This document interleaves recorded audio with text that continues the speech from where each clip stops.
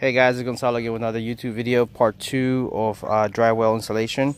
Uh, so we uh, finished the hole and we just added the gravel base about maybe an inch. We don't need too much, just just to stabilize the uh, the drain well.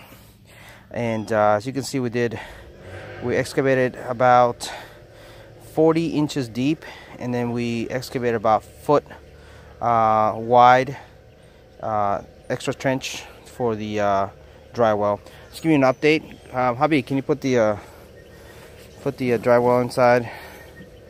This is the container we're using. It's an NDS product, and we left about maybe uh, three inches to four inches all around, and we're gonna start uh, backfilling with gravel.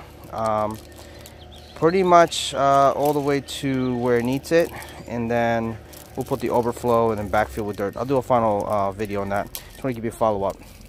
Thank you so much for watching. Wait for part, part three.